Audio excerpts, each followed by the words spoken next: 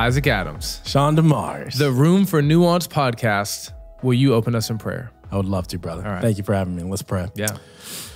Father, we come in the name of our Lord Jesus Christ.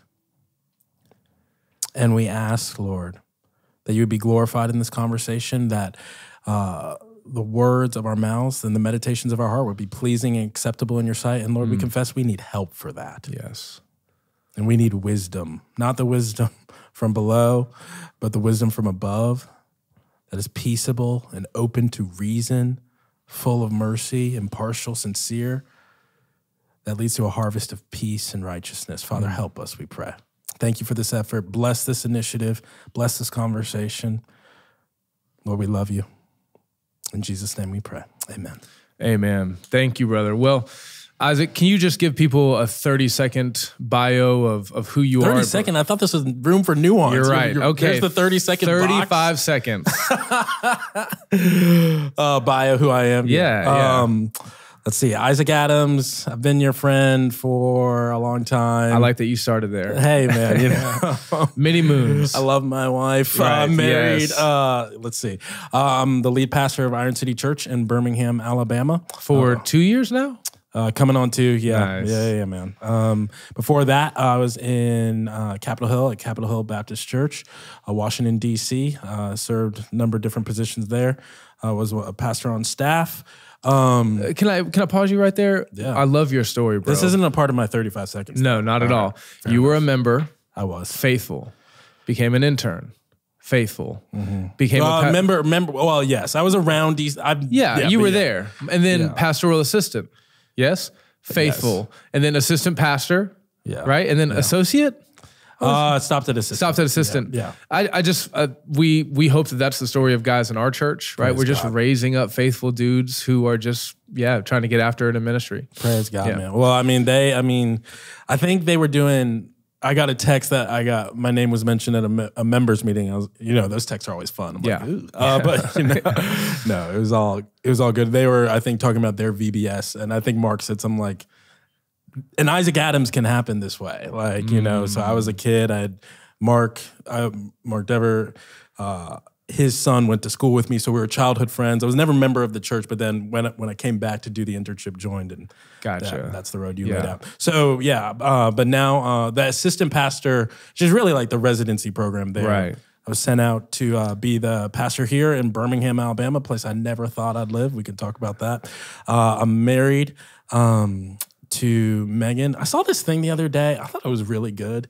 This dude said, "I don't call my wife my best friend. That's a demotion." And I was like, Okay, all right. Let's circle back around to that one. Yeah. So uh, married to Megan, we have uh, three little kids. Um, so I always say our kids look like little balls of peanut butter on Hey. wheels, just running around. I mean, literally. Hey, and you can say that. I, I can say You that, can say but that. don't say that. Uh, uh, and yeah, man. So uh, anyway, and then last thing, um, uh, founded a ministry called United We Pray, which is now a part of Iron City Church, which is devoted to helping Christians pray and think about racial strife. Mm. Uh, so Spoken word artist, I'd say retired. retired. I'd say retired, Yeah. but I, did- uh, Sean, I heard a piece the other day, and it made me want to break it back out. Like I Mm. was like, can I pull this off in time for? Uh, I don't want to time stamp our podcast, Yeah, but yeah. like, can I get this done in time for Easter? And I was like, no, I No. have to get a sermon done. So You think you still got it? Muscle memory. I'd like to think that, but Bro, you know, gonna- it's always. I mean, writing it's always clear up here, and then you go to write it, and it's like Yeah. it ain't. It ain't And, and also author, author of Yes, uh, yeah. talking about race, Talking about gospel, race. Yeah. hope for hard conversations. Amen. This is going to be the bulk of our conversation today. Great. Uh, but also the author of this little booklet that I give away all the time. I Mm. recently just read a section of it to our congregation in our Sunday morning service to not only encourage, but to exhort them to go get a Mm. Copy and to read it. Uh, this is What If I'm Discouraged in My Evangelism, part of the Nine Marks little questions and answer series or church question series. Uh, and we're going to get to this a little bit later, but uh, a tiny book. Uh, very, very, very largely helpful. Yeah. Mm, praise God, man. Let's edit that. Tiny book, largely helpful. All right. or don't edit it. Who cares? So, uh, brother, let's just get into it. Let's do it. Um, would it be would it be naive of me to ask you for a ten thousand foot overview of the American evangelical landscape when it comes to thinking about race? Is that is that too big of a of an ask? Probably because I Okay. well, but, uh, I mean, I can certainly try, but I appreciate even the recognition that it could be that because I think a lot of people are like, "Well, what is it?" And I'm like, "Well, where are we talking about? What? Who are we talking about?" Yeah. Um, but I think there are, you know, we were talking about this even on United We Pray, like doing kind of like what's the state of the union Yeah. here? Like Yeah. what's what's going on? And I think let me. I just am so glad my answers don't have to be 30 seconds. So No, let me just say time, a few bro. things. Yeah. Uh, one right now, I would say where we're at right now, 2023, uh, American evangelicalism is people are the the fractures have happened, and people have taken their ball and gone. Would you home. say the fault lines? Um, yeah, you can, I'm well- but I mean, like, insofar as that's a, an accurate metaphor, yeah. I think it Yeah. is. I think it yeah, is. yeah. There's real fault lines. There's Yeah. real, and I was even gonna, you know, play upon that metaphor when I go back. But like where we're at right now, I I think it's you know, the conversation in so many ways has stopped. I don't Mm. think it's kind of we could call it a detente. We could call it you know DMZ. We could, but I don't even think it's that. Like I Okay. think it's like the forces aren't even present. It's like you do your thing over there. I'm doing my thing over there. You know, some of that I'm sure is commendable. Life is short. I'm like, I'm going to stay on the wall. I'm not going to come down. Yeah. Um, Jesus is coming soon, and uh, you know, I love him, and you'll see him in heaven. But uh, I think you know, I think Satan's also getting a win on some of that. So that's where we're at right now. Okay, ten thousand foot. But I think if we're talking kind of like what happened, or we can talk really about the last, let's call it. 10 to 11 years. 2012, Trayvon Martin happens. Uh, 2014, Michael Brown happens. 2020, George Floyd and it, it- in and sadly, and I'm pointing to those three instances because sadly, I think there's a genre of killings like that. Um, be it Ahmaud Arbery, Walter Scott, we could go through so many. Philando Castile. I'm not saying they're all the same. I'm not saying you know Sure. they're all unique cases, but let's just talk about what our churches were feeling. I mean, the the sort of icons of our discontent, right? Sure, and and I mean in the language I in tragedies nonetheless. And frankly, I Mm-hmm. Yeah. don't, I don't care where you stand. These are the things issue. that Like, we're all bickering about, Yes, talking about. Yes, Yeah. lamenting, grieving, yeah. questioning. And so those three events, tragedies, let's call them. Uh, and in some case, I mean, you know, even the Walter Scott thing, you know, like it's just clear, it's been ruled injustice. This was mur- uh, Walter Scott, or uh, I was even thinking of Maud Arbery. So sad that I get the names confused because there's so many.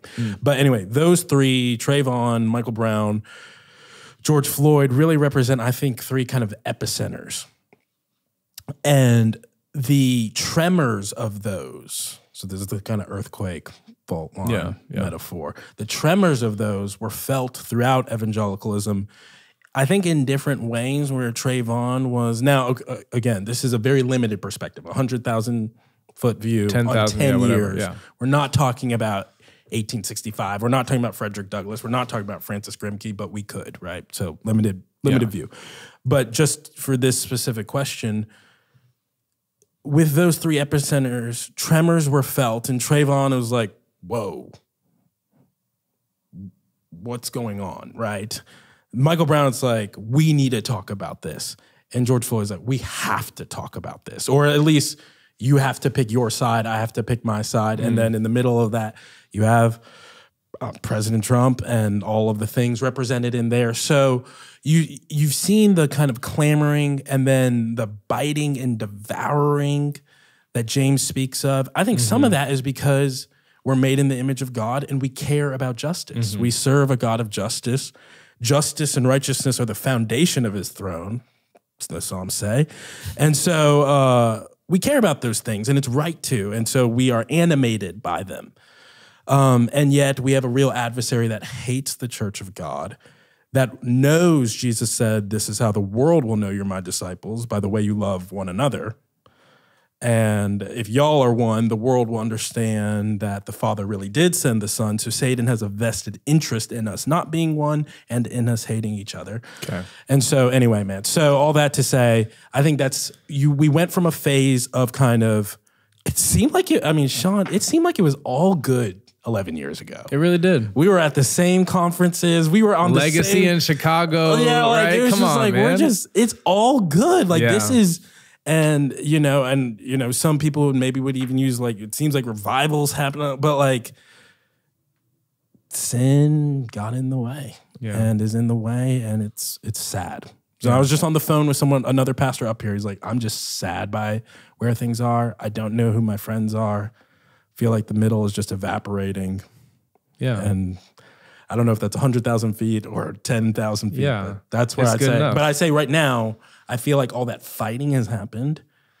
And now cats are like, "Pff, bro, I'm, I'm taking my ball. I'm a, a, a settling has taken place. yeah, Yeah. yeah, yeah, Yeah. But not a, certainly not a restoration of relationship and fellowship. Yeah. Uh, okay, so in light of people settling in their different positions, some less thoughtfully, more reactionarily, if that's a word, uh, some more thoughtful, right? They took this time to do the work, to read, to study, listen, pray, have hard conversations, and maybe they've even still arrived at, well, not maybe, we still have arrived at various conclusions about the race question in relation to the gospel, in relation to American life. Sure. Uh, where would you say you and I land differently? Not necessarily on this idea or that idea, but maybe if we were just to do what we did on your podcast to take the sort of Kevin DeYoung Yeah. one through four, right? Uh, uh, I, I mean, in the Defend and Confirm podcast, we did like a 15 part series on critical theory, a six part series uh, critiquing critical race theory. Um, that has, in many people's minds, sort of put me in one camp. You have the United We Pray podcast. You've spoken in certain ways that has, uh, in the minds of some, put you in a in a different camp. Um, yet I'm inclined to think that you and I have more in common I think that's than true. we than we have right so but w- what would you say if you were to say okay uh, isaac and sean how far apart are we Man, that's such a good question because it's such a hard question. I feel like even people listened listened to our podcast we did for United We Pray where we were trying to tease some of this out and they one brother another brother pastor who both you and I know he just said you know it's funny how much agreement there is when you sit down and define mm-hmm. terms. Mm-hmm. So I do think there's I do I'm sure there are differences like even some oh we'll plan on teasing out Yeah, uh, yeah. on some projects you, you, you know we're putting our heads together Yep.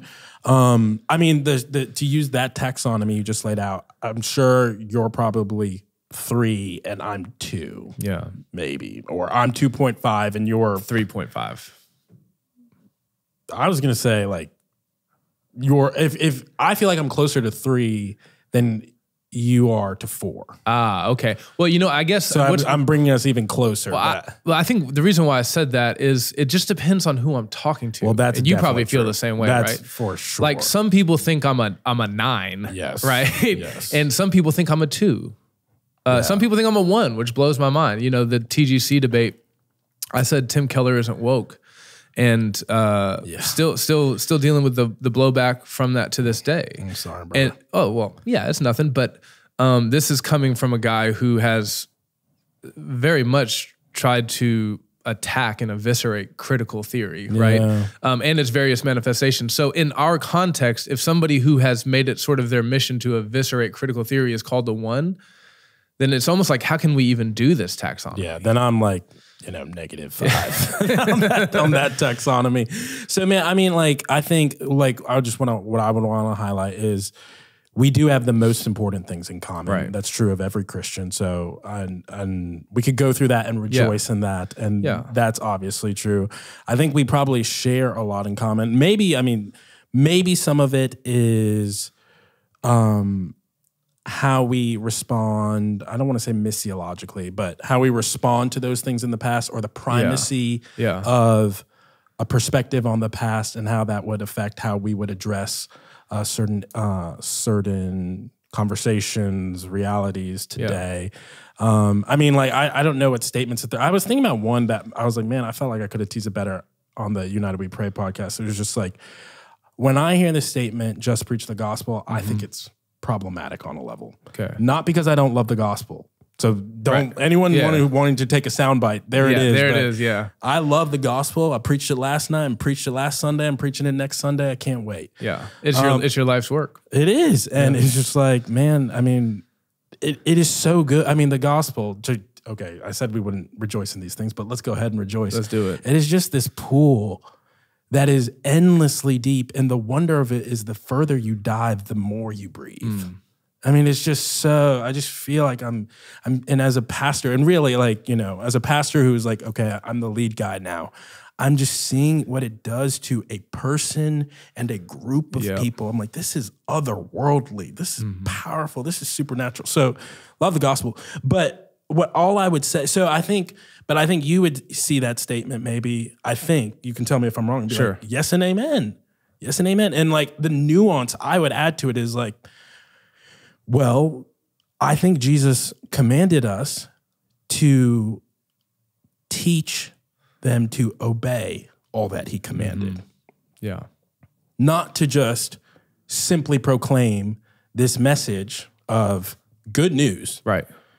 And But the good news has implications the good for news how you has, live in the kingdom. has implications so much so that James was like, if you don't rock with those implications, Right. it calls into the very question the good them- news that you say Yeah. you believe. Your Right. faith is dead. Faith without works is dead. And so I think you probably agree with that nuance. Maybe One hundred percent. Okay, so then, but like, I think people would see us and see, well, Isaac says the gospel's not enough, and Sean does, and Isaac would, you know, maybe chew out some, chew out, chew up meat, spit out bones on some CRT stuff, even though I don't really want to talk about CRT. I just, I just think Paul's so right when he's talking about. question. Yeah, well, Paul's just so right when he's talking about contra, like, Yeah, you yeah, know, it only stirs up quarrels. So anyway, but that's to answer that question on some of our, I, but I would generally say, Sean, and even maybe some of the circles you're associated with, like P, you lean more conservative. Mm-hmm.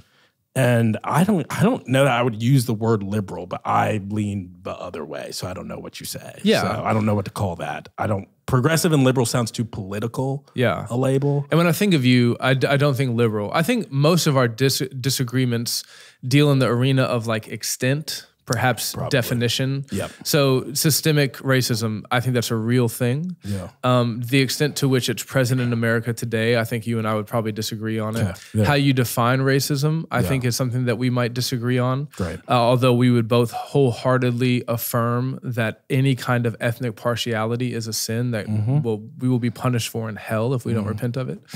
Uh, and uh, I, I- I think that uh, means of common grace, how much we can pull from things like CRT, Yeah. there'd be some disagreement there. Probably. Um, but even in that uh, little sort of theological triage, we see that the most important things we have in common. We do. And I think, you know, you and I have had these conversations. And I think one thing, you know, Sean, that I appreciate about our friendship is that we have a friendship outside of these things. Yeah. So it's just not all we talk about. Like we're pastors, we're I think only on podcasts about race have we really have talked we really about talked race. about it. Yeah. That's why we're like feeling our way around. Like, but Yeah. um, so I appreciate that. But I do think both you and I are versed in that kind of that kind of triage and what you just did in like a minute to commend you. People don't do. correct. So the conversation stops at when I just said, "Yeah, I think preaching the gospel, i or you know, just preach the gospel, uh, is a problematic statement." The conversation stops right, Right. there, and now I need the wisdom to know who I'm talking to. Yeah. To say like, "Well, I'm not going to throw this firebomb out there. They're not going to understand what I mean. I have a responsibility as a Yeah. communicator to." But but I think what you've just done is like we've we've discovered the common ground and been like, here it is, and here are these nuances on the side, and um, that are super important because they actually allow us to see each other and work together Yeah. and love each other. I think. Well, praise God, brother. I think we're already starting to hopefully role model by God's grace, uh, talking about race well, which is the so, title man. of your book. Yes. And that's that's kind of what I really want this entire episode to be. I, I read your book from cover to cover. Uh, you. I thought the most helpful parts of your book where you are uh, are the parts where you're shepherding people Hmm. through like, hey, you th- you think and say this, and here's a better way to think, and here's Hmm. a. I, I felt you shepherding these imaginary characters in Hmm. your book, and and and I thought, oh, that's exactly what I do with my people. You know, Hmm. I've got this person in my church who said something that I think actually is slightly racist, and I'm trying to Hmm. think, what's the best way I can help them Mm-hmm. like correct that, and then I have this person over here who says Hmm. something crazy on the opposite end of the spectrum, and I'm trying trying to think, okay, how do I shepherd them? Not bludgeon them, Yep. right, but shepherd them into the truth, right? Yep. So I thought which that is a which right there that is a different approach very different. certainly than let's just call it twitter twitter is Yeah. twitter is rome in this sense it is a brutal world yeah, and it is you are out of step you will be destroyed You will you be. will be obliterated eviscerated crucified destroyed Mm-hmm. and that approach I hope by God's grace. Sorry to cut you off, but No, I just fine. want I just want to draw out the things because Yeah. these are these are the nuances. Like I'm like, if you don't catch it, Yeah. you'll miss how you get to this kind of conversation. And I think this kind of heart and posture, which I think at the end of the day is frankly a less angsty place to be. I could not agree more. Easier place to be. Yeah. Though a maybe a more heartbroken place to be, but a softer place to be. Yeah. But I would just say what what is represented there. I hope and what- softer doesn't mean weak. No, Yeah, if any, right. I think if anything, it might mean stronger. I mean, that's a kind of kingdom of God paradox. Right. Like yeah. weak is strong, soft is soft is powerful. Yeah. Right. But what I would say is what you just talked about, not bludgeoning your people. You know, I think people would hear that and be like, "Kick that person who just said that." You know, my some of my friends would say, "Kick that person who just said that." You know, somewhat racist thing out of your church. And It's Mm-hmm. like, well, Second Timothy two twenty four is the controlling thing for both you and I. That you know, the Lord's servant must be kind to everyone Even his enemies. even his enemies. It's, just- it's not everyone who agrees with you, not everyone who, you know, is on your side of the taxonomy, but to everyone. And it's that very kindness, you know, that might, God might Use it to lead them to repentance. Yeah. use them to lead them to repentance, just like he did in his kindness yeah. toward us. That doesn't mean you tolerate, I mean, he gives us instruction for tolerating and not tolerating Yeah. moral, clear moral failure and sin. Yeah. But it ain't conversation one, bludgeon, you're out. That's right. And I, I, there is a certain advantage that we have as pastors in thinking through these things because we are so used to dealing with a plethora of people, all of whom are at various places in their sanctification journey. And so it's just not hard for us to be like, oh, you believe something wrong. We're going to have to work on that. That's just normal, you know? I think you're godlier than me. I think it's a little harder for me. but Bro, you haven't I seen don't- me on my worst day. Okay? You it is. It is. I, I certainly have more categories than probably the average person does as Yeah. a pastor. Yeah. Okay, but now back to the point that I was I was getting at here. I, I don't agree with everything in your book. Great. Which this would be a miraculous book if I did, right? I mean, I think I say in the first few pages. Yeah. You don't have to agree to be godly. and and so this is why I wanted us to talk about our differences because I want us in this podcast to do what this this book is really all about. It's hmm. how to have difficult conversations. Hmm. It's not how to have conversations uh, in rooms with people that you with whom you are in complete agreement, right? Echo chamber conversations are the easiest conversations in the world, right? But uh, even where there's minor disagreements, especially along such a an explosive topic like race, um, the conversations can be really difficult. And so I just want us to have these conversations. I want us to spend the next hour and change role modeling what it looks like to have difficult conversations about race. And I, I I pray that God gives us the grace to do that. Amen. And we will need his grace to do it. Yeah. And on that, what you just said about the echo chamber, Jared Wilson, I think said something really helpful. Uh, he said the easiest sins to preach against are the sins of the people who aren't in the room. So we're coming back to that. We're going to talk about Trevin Wax's idea of multi-directional leadership. All right. I think I want to hear your thoughts on that. But um,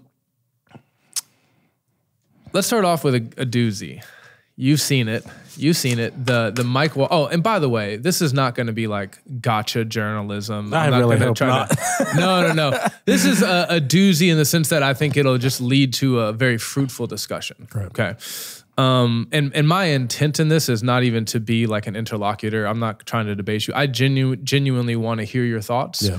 And uh, yeah, and just want to hear your thoughts. So, um, you've probably seen the Mike Wallace, Morgan Freeman, uh, 60 Minutes interview clip. It's been posted everywhere, especially since 2011, as he's raised conversation. I'll, I'll read it for you in case you're, Yeah. it's not registering with you. Uh, Mike Wallace asks Morgan Freeman about Black History Month. Morgan Freeman says, "I don't like it," and and he goes, "You know, what month is your History Month?" And he goes, "Well, I don't have one." And he goes, "Well, why should I have one?" And and so on and so forth. The conversation goes until uh, Mike Wallace asks an easy question of Mr. Morgan Freeman How are we going to get rid of racism?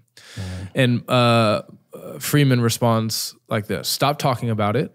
Uh, I'm going to stop calling you a white man, and I'm going to ask you to stop calling me a black man. I know you as Mike Wallace. You know me as Morgan Freeman. You want to say, well, I know this white guy named Mike Wallace. You know what I'm saying.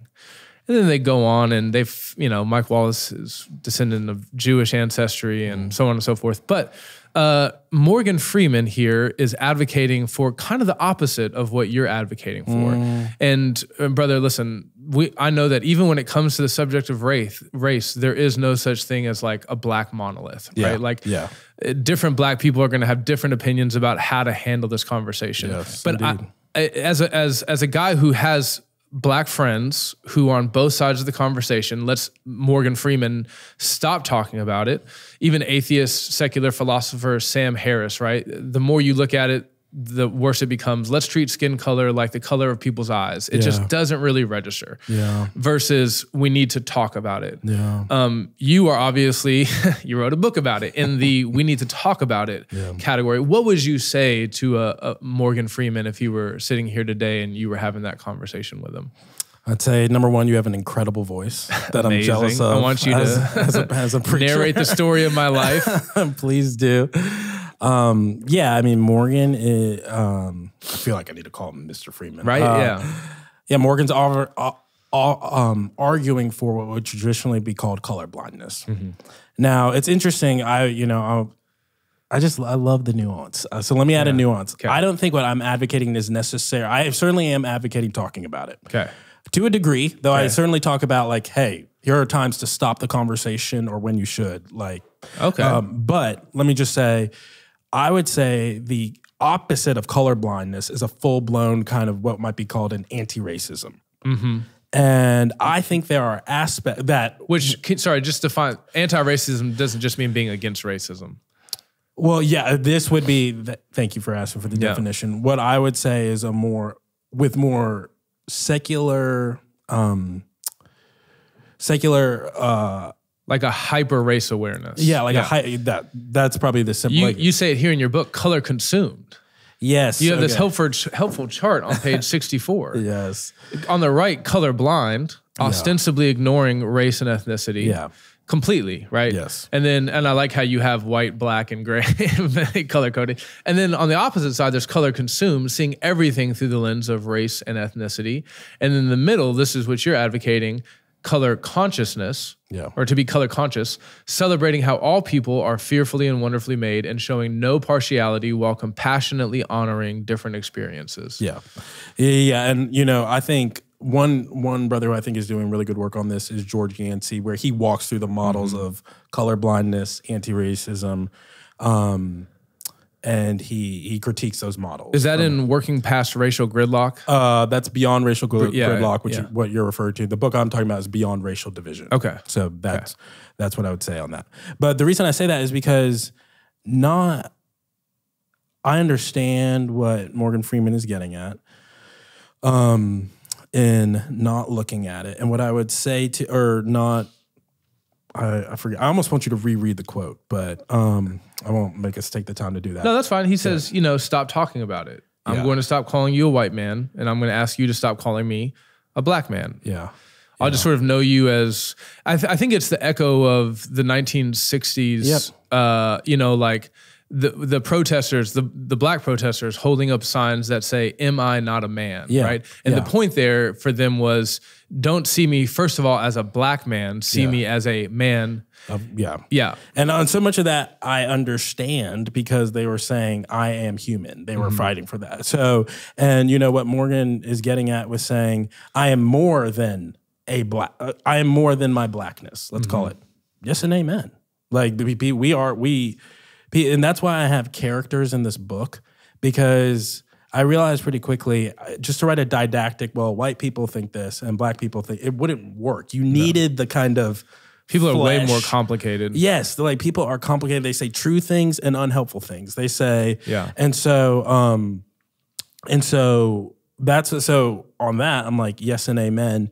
And on one level, you know, well, here's here's the critique I would offer Morgan. I'd say Morgan, I appreciate what you're getting at. Appreciate, you know, all the things you're saying. Um, and we can talk about race being a social construct and all those things, and it not really existing.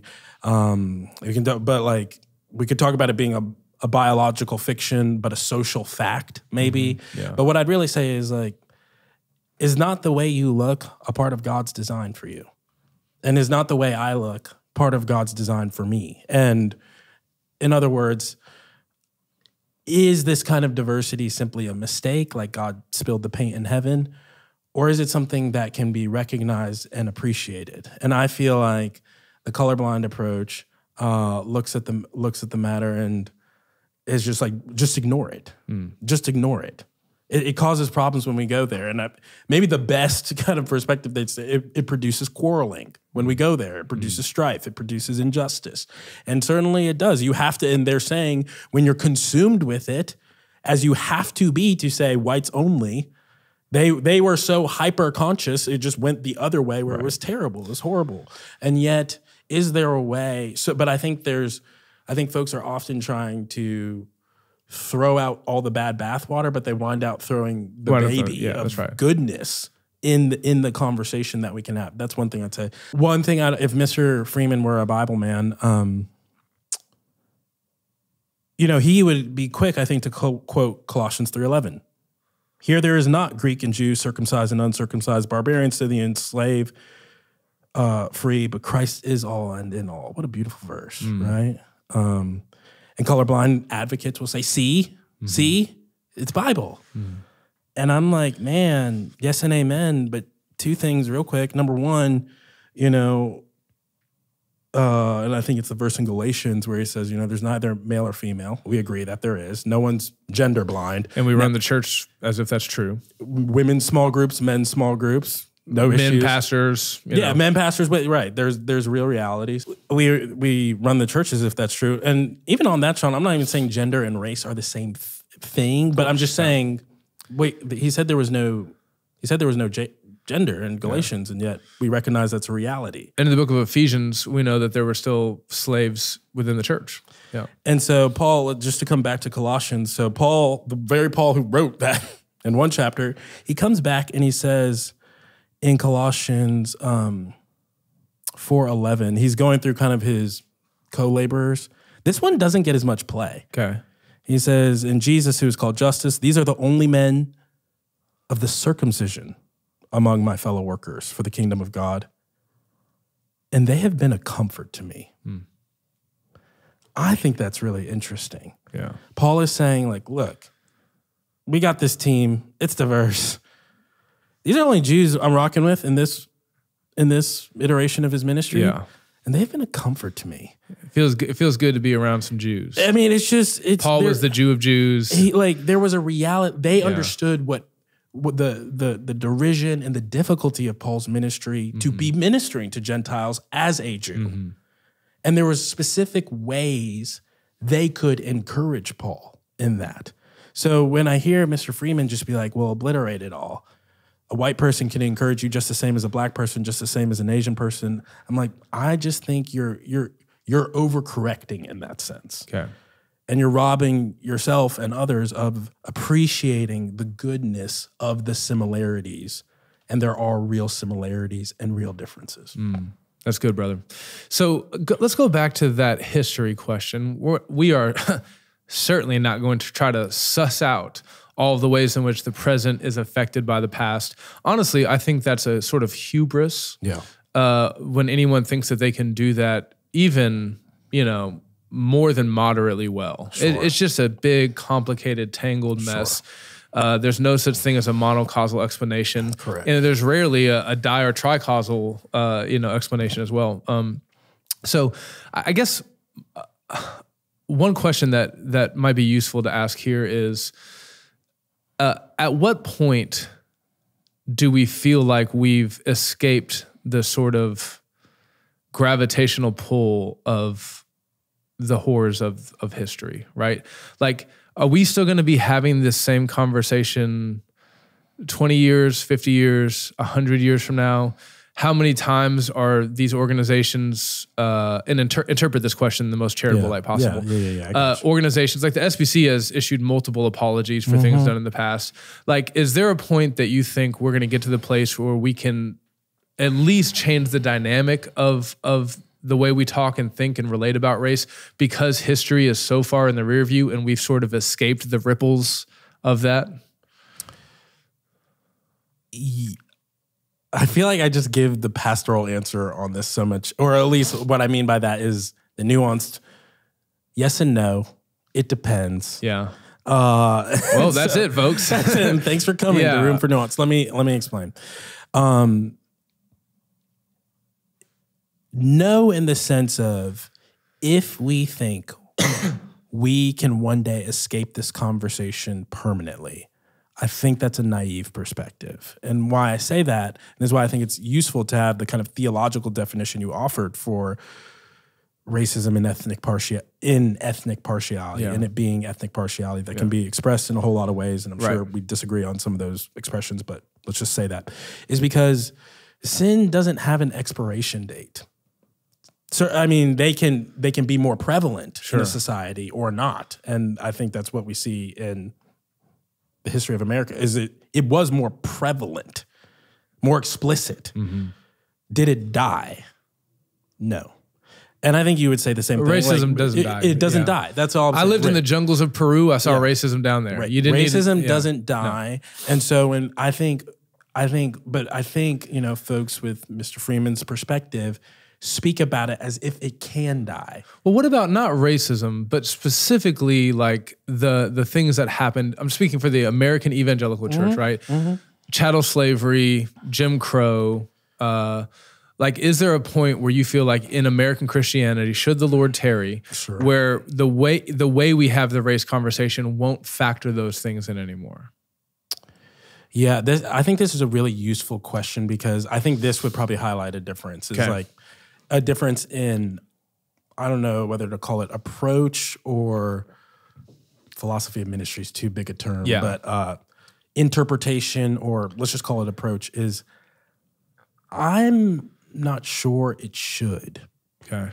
In other words, like I appreciate the question, and I, I certainly am not, you know, in, in all this, Sean, it's not. I, I certainly don't think the conversation should be had ever for the purposes of white guilt, condemnation. If the Lord wants to work godly sorrow in whoever, please, Lord, Sure. work. Right. Yeah.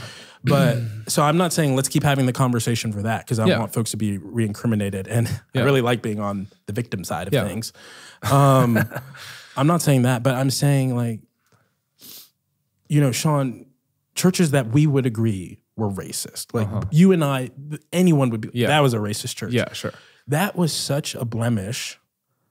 What I would argue for so long in this country that to I, what I what I fear about escaping it, kind of hitting the escape velocity, where and I think what you're asking is like, will we get to a point where that doesn't control the conversation? yeah. I think so, and I think there can be some health in that, but I fear that escaping means we don't look back at that and we don't learn Sure, from that. We yeah. don't see that that how that how that could have been us, could Yeah, be us, yeah. And how hey, that's made this conversation hard today. And because, and this is, you know, where I think it's, we might disagree or a lot of people disagree is about the extent of these things. Like, are we talking about, you know, when, you know, America's founded? Are we talking about as soon as, you know, settlers are landing on this continent? But I'm saying, if that was such a large portion of America's history, like, and that maybe that's a question for you is like, how long would you say that kind of explicit racism was dominating mm-hmm. the American evangelical church in America. Because I and I think this is like what would you say on that? Because if it let's just say if it were a couple I what I feel like Sean is people would say well this thing that's affected us for a few centuries we should be able to escape it within a few decades. Mm-hmm. And I just don't get that math. Sure.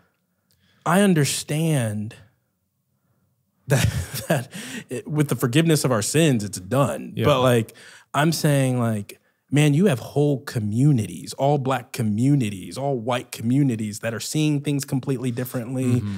And though the fact that these communities are separate are some kind of bitter fruit of the past. I don't know who. Not saying it's monocausal. But I guess what I'm saying is, Sean, it'll take a long time. Yeah. And I think that's reasonable given how pervasive that the ideologies undergirding that kind of explicit, Yeah. explicitly racist society, those kind of ideologies, how how um, how pervasive they were. How, in some sense, you know, I call race the Velcro issue. It just touched everything. Mm-hmm. How we set up where we live, how we set up where we church, how we set up where what kids, what our Education, pools, our education. so yeah. on, So yeah. because it touched so many of those things, it's like, well, now you know, just stop seeing it that way, and it just. It's like telling your people on Sunday, I feel like, just stop sinning. Mm-hmm. And your life will be easier. Heaven will, Jesus will be sweet. Just stop sinning. And it's like, I just don't think it works that way. Yeah. So if we were to move it out of the American context, sure. Japanese Shintoism, uh, uh, an ideology of religion, really, of racial superiority, led to Pearl Harbor in World War II. Uh, American Japanese relations. I know they're not 100% equivalent. Sure. Hundreds of years Yeah. of it in our land, on our soil, in our people. I'm just I'm just trying to to do a little Yeah. bit of uh, compare and contrast here. Yeah, yeah, yeah. Uh. Nazi Germany yeah. when I was in language school as a missionary, we had some Germans come through and I would crack some Nazi jokes, you know? hey, listen, listen. I think we'll come Well, well, we were talking about like, uh, uh, the ability to joke about stuff. the ability to joke Yeah. about stuff. Uh, I don't know that on a podcast you want to be saying No, I was no. cracking Nazi jokes. I, and- but I was. So they were German, and I was like, I would make some Führer jokes here and there, but like they didn't think it was funny, right? right. Um, nevertheless, I've talked to other Germans who say, by and large, that uh, that the country seems to have moved on from that. Now, that was maybe a bit more concentrated, but not as lengthy. So I guess, and then you can just take really any empire in history: the Persian Empire, the Achaemenid Empire, the Assyrian Empire, most of which was wrought uh, with uh, racial strife. We know that many of those conversations have sort of moved past that. So I, I guess I'm just externally processing here, but I, I guess I'm just wondering if if it seems like it can happen elsewhere, can it happen here? Not to the neglect of our history, not forgetting what happened, because if you don't learn the lessons of history, you're doomed to repeat it, right? But I, I like the way you phrased it, brother. Like just not letting it be the main controlling force and factor. What's interesting is that there are a lot of evangelicals right now who are for the first time studying the history of racism in America and their mind is being blown. They had no idea how bad it was. They were like, First Baptist Church said what, you know, and they did this and, And that's why there's two First Baptists in this city? yeah, exactly. Like, yeah. Uh, and so that's another thing that's so difficult about this conversation is that uh, even as it feels like the tides of history should, in some sense, be settling, Yeah. there are a lot of people who just didn't even know about the first big wave of history when it comes to racism. So I, I guess all that to say, I would expect that at some point it should, the horrific history of racism in America in general and American evangelical Christianity in particular should come to bear less on these conversations. Yeah, I think that Sort of a forgetting what's behind, pressing on to what's ahead kind of a thing. Yeah, and I mean, uh, I I mean, and this is where again, because this is room for nuance, I would I would just not use the word forgetting. I would say not being controlled by. Sure. Right. Okay. Uh, but what I would also add is I think that I, I I don't know what to call it, but like there's a there's a perspective and a focus that we're already employing in this conversation that I think is useful just to highlight. And like what I would say is like, why do we feel? And well, let me pause right there and just address something real quick. Of like, as the as a pastor, and you're a pastor, and like, man, I want to. I, I want there to be room for jokes. Jokes are healthy Yeah. and important. Um, and you know, this is why you see this even this conversation in just the comedian landscape with Dave Chappelle or Right. whoever. And Yeah. I, I saw um was it Cedric the Entertainer? He was just saying, man, we gotta protect Dave. Like, you Yeah, know, like yeah, yeah. because art, like he can't art, he can't make the jokes. And like it's funny for a reason. Cause we all know it's gonna but it's just like it was interesting to me you said like, you know, some of those German students were not okay with Mm-hmm. it. yeah. And what I'm saying is, what that gets at is the very thing I'm talking about of like, I think it makes sense why they're not okay with Right. it, or at least not okay with it coming from you, right? Yeah. And they can maybe make a joke that you can't. And because I we beat them in the war. I'm just kidding. Go ahead. well, dude, I'm, I'm sure they're not watching this, and I'm sure they just turned it off. And perhaps my exhortation would be, you know, don't make those jokes to them. Okay. Um, but uh, uh, or maybe at all. Um, but let me go back to what I was saying. Is there's a there's a focus on this conversation of like I, just my. I feel like there's there's a perspective that says, when can we move on? That's my that's my dominating question. Sure. When can I move on? And I'm not saying you're saying that. Sure, I just want, yeah, I yeah, want yeah. to be clear yeah. but that's that's what we've been talking about when can we when can the, so that we can have health so that we can like not be dominated by those things and yeah i saw my i think it was mike tomlin who said this uh he's like you know there there's a side of this conversation that's asking when can we move on? And there's a side of this conversation is when can we actually start talking about it? Hmm. And i'm probably closer to here. Hmm. And what I mean by that is my controlling question is not when when can we be done? When can and Yeah. you're not Yeah. You know that's not my yeah, controlling yeah, question. yeah, right, right. Yeah, but when at which point at what point can we escape that? Yeah.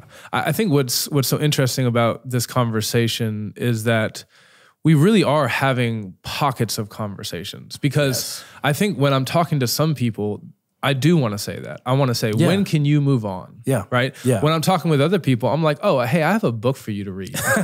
Because like the way And you here think, it is. No, yeah, just- like it's it, like it blows my mind how ignorant you are of the history of race and racism in America. Right. So Right. it's even difficult because I think what Mike Tomlin said there is valid again, depending on who you're talking to, the room you're in. Well, and that's where Paul, you know, I'm flipping into it, but that's where Paul would talk about different sinners need different responses. He's like to the to the idle admonish them, Mm-hmm. Right. to the weak be. Yeah. But he said First he- Thessalonians. Yeah. First Thessalonians, I think it's five. And, um, but it is interesting. He says, "Be patient with them all." Right. Right. That's the key. That's the key ingredient, and that's what Mm. He keeps saying to Timothy: "Be patient. Be patient." Yeah. Be pa-" and our culture hates that, right? Oh, and that's where especially about race. We can't be Right, patient. we can't be. So I want to be. So that's where. And but I think there's an even impatience. There's an impatience in this side of the conversation of when can we escape. Mm-hmm.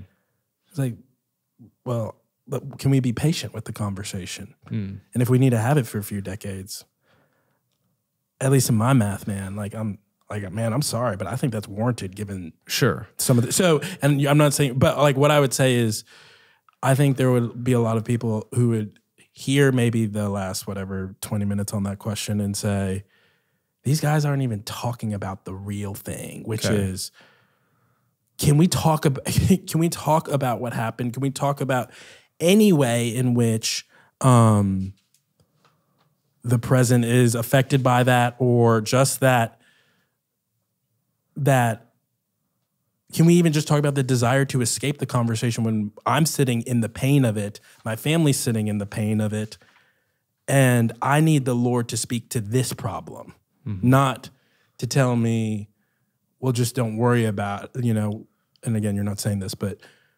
to use Mr. Freeman's language, well, just stop seeing me that way and stop seeing. And, and brother, there's lots of black people like Freeman who are like, mm-hmm. stop talking about it. Stop mm-hmm. teaching your kids that.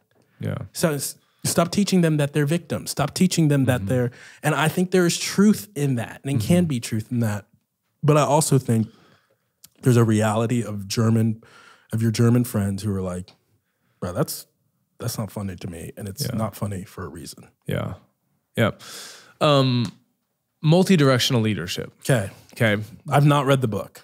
Sure. It, it's it's a tiny little book. Uh, I would recommend any of our re- readers to to check it out, especially if you're in the church. And again, you probably you he just kind of puts a fine point on things that I think we sort of intuitively grasp as pastors, which is On a Sunday morning, I know when I talk about uh, assurance, I have to say this thing to this group of people, and then I have to qualify it and say this thing so that these people don't mishear what I'm saying over here. Oh, so man. let me just That use the life of a pastor. uh, yes, uh, and nobody's ever happy with the balance you strike, you know. But we just hope we. That's why we minister before the face of the Lord. Um, but l- let me just use my church for example. Okay, my concern for my church is not that we are going to become woke, right? Just to use the common nomenclature right now, to become woke, right? My concern for our church is that we are going to veer into second level separationist fundamentalism, right? Where, uh, so an easy example, I had you and then right there, you're trying to protect against, rightfully, Yeah. an overcorrection. Yeah, an, an overcorrection. A- Absolutely right. Um, you know, I had you come and preach at our church.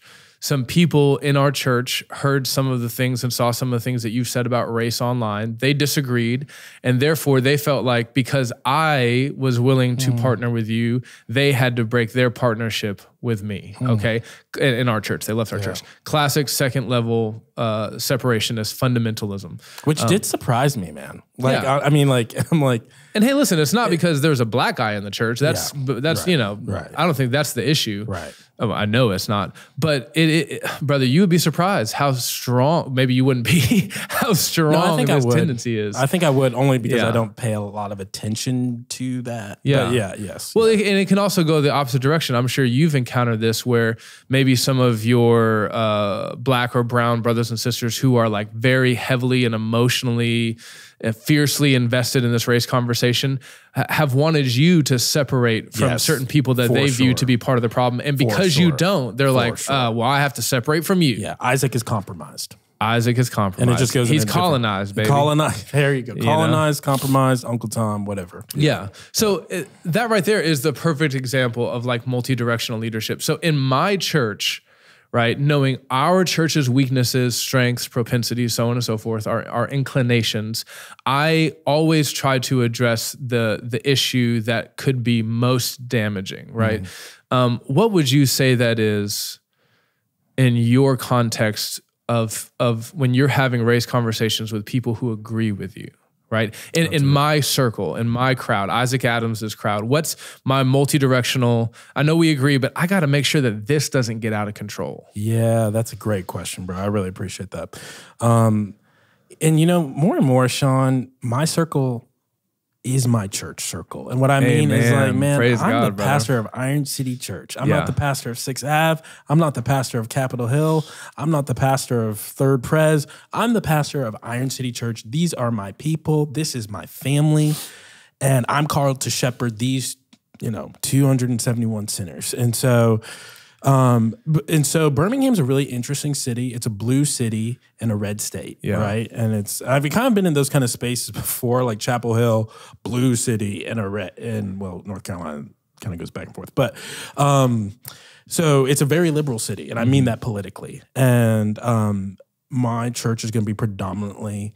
Uh, leaning that way at Sure. least Yeah. they're gonna share those sympathies my church is skews really young like we are excited when the people over the age of 40 are Yeah. there. like we're like young college students young in a liberal so, city yeah, uab medical town very studied you Yeah. know and so for me the direction i actually have to guard i am not worried about a single person being racist in my church Right, yeah. united we pray is a ministry of the church Right, so it's yeah. just like if you're here and you don't get kind of what we're doing, it's like it just calls into question maybe deeper things about a yeah like your awareness yeah, like just your intellect generally. Yeah. But my concern, so uh, you know, I'm preaching through Mark, and I'm talking about Jesus feasting with sinners, with tax collectors, and the question is, who is who is the tax collector? Because I think it would have been easy for me to talk about, well, the tax collector, you know, we need to look out for, you know, be it the prostitute or be it um,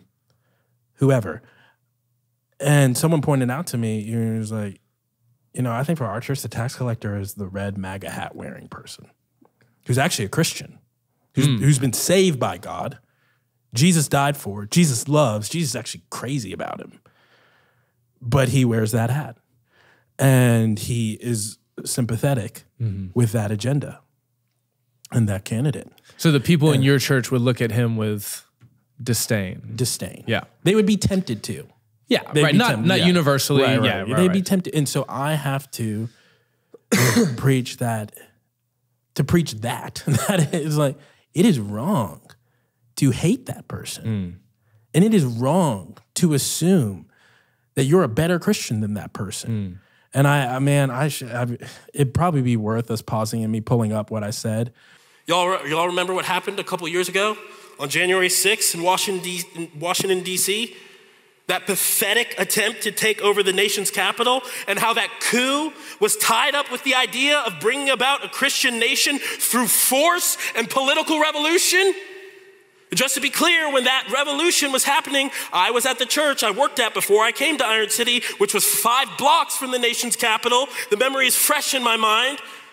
Friends, if you're here and you're not a Christian, Jesus wants you to know that what happened on January 6th is not the kingdom of God. No, it's quite the opposite. I assure you, heaven doesn't look like January 6th, hell does. And if you're here thinking, yeah, that's right, those red MAGA hat wearing fools are crazy, you tell them, Pastor. Don't worry, Jesus has a word for you too. Friends, let's be clear justice is a good thing. We should seek justice as much as we can in this world. But for those, for those of us who are more socially justice minded, should take care to remember that we can't fix this world completely. Only God can. Oh, we should take care to not love people who don't love Jesus but happen to share our ideals of justice more than the people who love Jesus and the gospel but who happen to disagree with us on some implications of justice. We should take care to not support or endorse ungodly ideologies whose agendas are trying to cannibalize the very just things we care about. Friends, if you act as if the way to bring about God's kingdom is to be just, but you forget to love mercy, you forget to walk humbly with God. Friend, you are just as bad as the red MAGA hat wearing Republican you may be so tempted to despise. I talked about the kingdom of God and you know experiencing January 6th being close to the Capitol. I was at Capitol Hill Baptist, and Yeah. so Capitol's a few blocks away, and talking about how I don't think the kingdom of God looks like that. Right. It doesn't look like coercion. Doesn't look like force. Um, doesn't look like trusting in a political entity or putting Jesus' name on any of those kind of initiatives. Um, yeah, I think that, frankly, Sean, I think that's what that looks like more like hell, not like the kingdom of heaven, in, in what I'll call it. And at that point, I know my church is yes, Yeah, they're frothing at the mouth. Amen. Amen, brother. Amen. And I said, you know what? But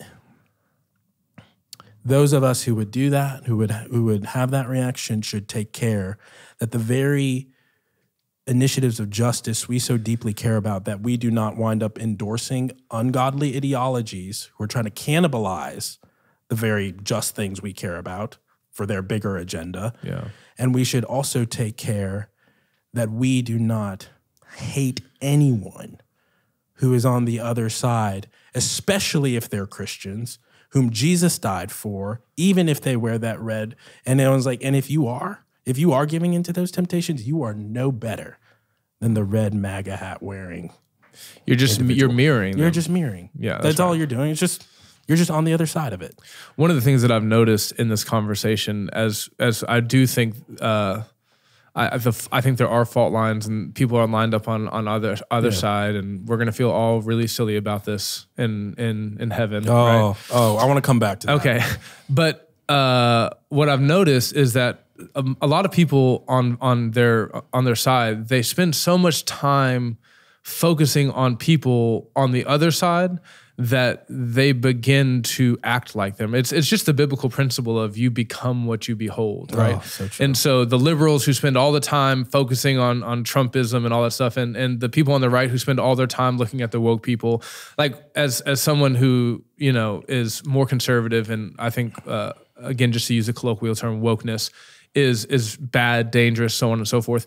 I, it blows my mind when I see conservative people acting just like woke people, just from a different vantage point, right? So which I'm so thankful it blows your mind, and that's why you know you, on my podcast you shared about like Yeah. what the the things you would say in that direction Yeah. to the people. It's just like, and it's I mean it's it's this weird you know.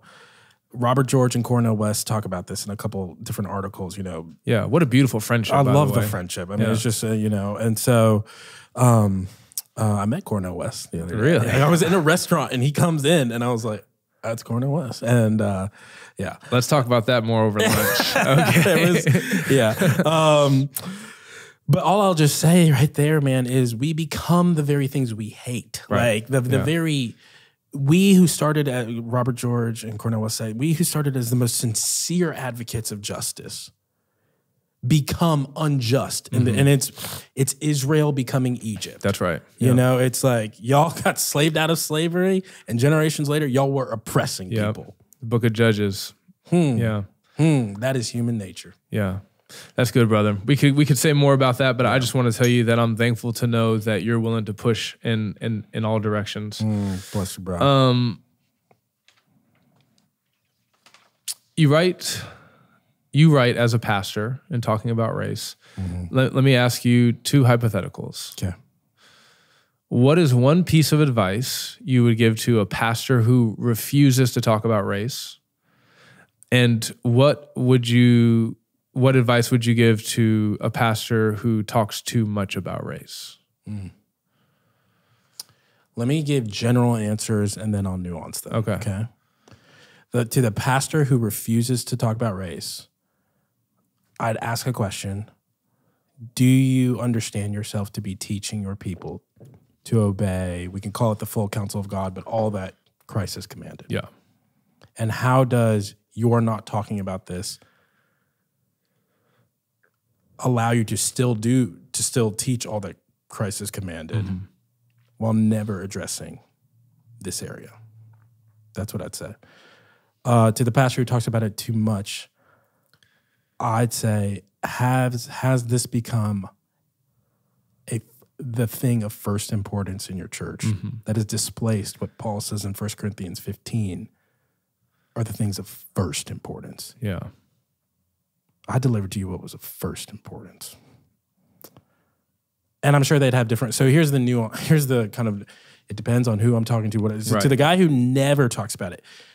And he, he might be like, so we used to have a, pa- we used to have the pastor who always talked about it. I'm the new pastor here. And I, I will not talk about it because it, it tore the church apart. Okay. And to that guy, I could say, yeah, I could see how um, not talking about it uh, for a, for a little while is probably actually pastorally wise. Quick to listen, slow to speak. Quick to listen, slow You- to speak. You don't have and to the, comment the church on. is the church is real. Like you're not going to have a church if you preach another sermon on it. Yeah, right. And some people are like, well, that that's what what's got to be. Yeah. that's justice. And I'm like, brother, come on, like play the long game. Yeah, right. Like. You can you can probably preach that sermon you want to preach to him. You just might need to wait a few years. Yeah. But here's what you can do: yeah. you could preach a sermon on the conscience. Yeah. Okay, so now we have a category for you don't even mention race, but now it's like, oh, there's a reality where I can see something some one way, and a different blood bought Christian can see it a different way, and he could still be a Christian. Right. And now maybe that actually gets at the heart of what that church is clamoring over. Yeah. So I could see some wisdom in that. And to the pastor who's like, I'm talking about it all the time. You know, he's like, listen, I grew up in a racist family and in a racist church, and I saw some of the most horrific things. And this is just such a burden of mine. And I'm like, that I understand. Like, that's what I'm saying. It's like, you see what I'm doing? I'm trying to Yeah. pastor these pastors. Yeah, Like, yeah, I see it. why are you doing that? Yeah. And but there are, I mean, I think there are probably just kind of standard garden variety. Dude, you're being a blockhead. You're scared.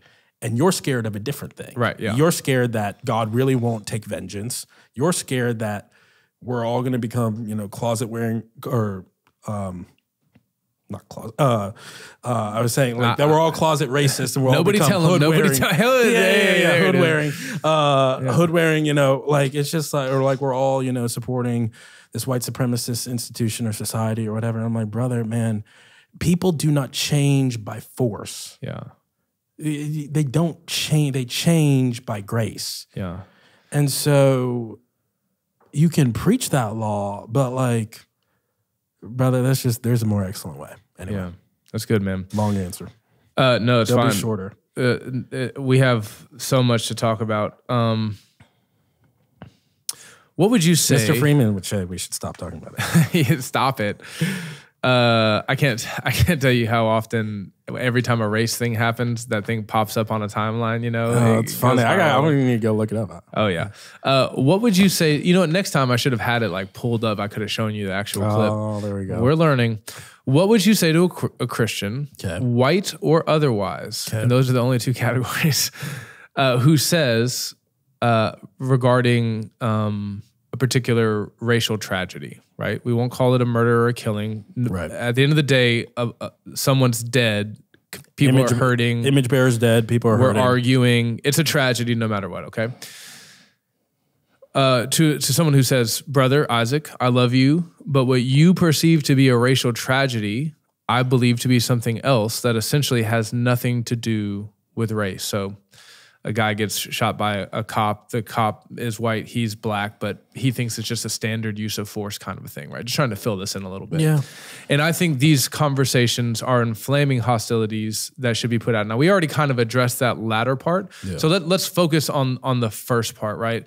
Um, at, in your church, let's say tomorrow, may it not be, but let's say in Birmingham, Yeah. black guy gets killed by a white cop. Yeah. And it is not at all clear what has happened, right? It's I mean, it's in some sense it's clear someone's dead, right? But it's not at all clear if it's if it's been an injustice or what. Nevertheless, in your church, there are going to be people who react from both sides, Mm-hmm. right? The the cop is innocent, you know, back the blue, right? And then you have other people in your church who are another another dead black man and of course, you know, you white guys aren't whatever, right? Yeah. In that moment, what's the first what what do you think how am i going to shepherd my people through this Um, I, I know you're not asking this in some sense, but because you were about to ask what's the first thing maybe I'm saying or doing, honestly, Sean, the first thing I want to do is pray. Right. And people will be like, of course, that's a Christian answer. What do you what what are you really gonna do? I'm Right. like, no, I'm no really first thing I'm really going to pray. So our church had an, an inaugural prayer service last night. Yeah. Mm. I was so encouraged. I was so nervous about it. Not because I'm nervous to pray, but you know, I'm a new pastor. I'm trying to introduce something Yeah. new. Yeah. And it's like, Yeah. is this gonna suck? like, is this gonna and uh it was so so I preached Second Corinthians 111, just this this little uh little uh yeah short sermon on it. And I said, you know, prayer this is the first thing Paul asks for in this book. And he goes through all his hard stuff. And he says, you know, God delivered us, and we have set our hope on him that he will deliver us again. And it's like, man, this is incredible. Paul has this redemptive view of his suffering. God used that to make us rely on him. And the first thing he says next is, you also must help us by prayer. And I love that because was, he saw it as not a last resort, but the first resort, the most necessary resort, the most powerful resort. So, I'm and he pray. does it constantly and does- he, he's he's just like, guys please pray for me i need pray- it He, and he's, you know, he's honest in Philippians, like, yo, y'all, y'all revived your concern for me. I'm thankful. But like, and you sent some stuff. That's and even helpful. even there he's like hey just so you know i'm praying for you yeah, that's right. right i'm just- in i'm in chains i can't Yeah. be there with you but you better believe it i'm praying for you so, but let's get to the meat of your question. yeah. They're, they're, Hey, that, that's a good qualifier, and it's it's uh, one of uh, one of my staff pastors says praying is not the same thing as doing nothing, Oh, and so uh, it's and it's it's probably the most important thing. the most, yeah, so- the most. But we've done the most important thing. That doesn't mean there aren't more things to Yeah, do. that's right. More things to think through. So, you know what's so interesting about again, I think this gets about the perspective of so okay, white guy kills this black guy, uh cop, black image bearer, both made in the image of God. Both need grace, mercy. Yeah. Um I think one perspective sees that as simply an isolated event. This one thing happened between this one individual and this one individual.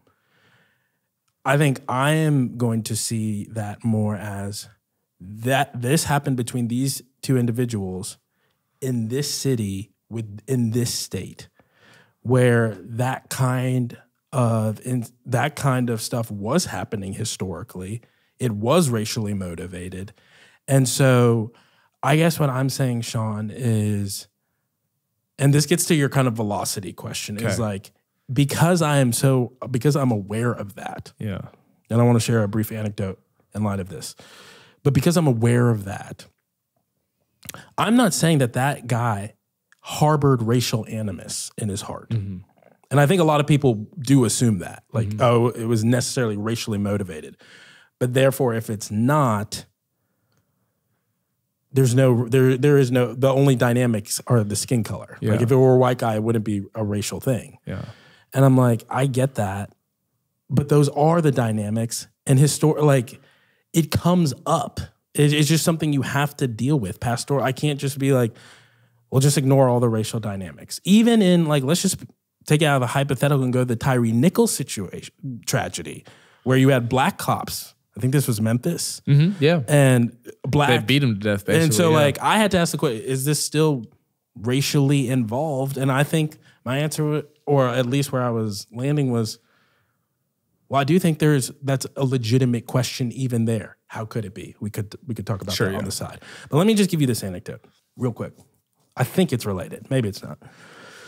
When I first got the call, uh, my mom, um, who passed away a year ago, uh, when I first got the call to Bir- and my mom is super godly.